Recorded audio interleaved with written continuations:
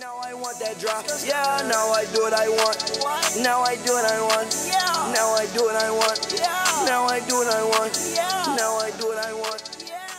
Yo, so what is going on, guys? TD for 3 here, and I'm here with my first NBA 2K18 Pro Am gameplay of the year.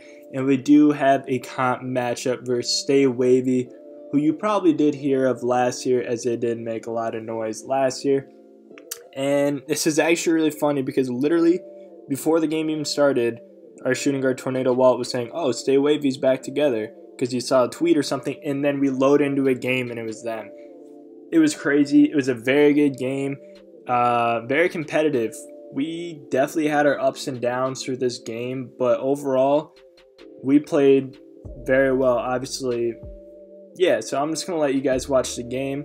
Um, I'm not going to commentate over this, and for some reason, it didn't let me save, or it didn't save our conversation like through the party.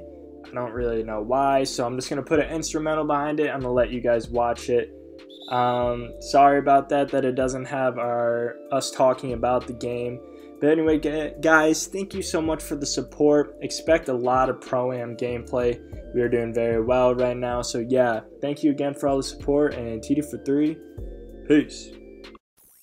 Kane is in the building.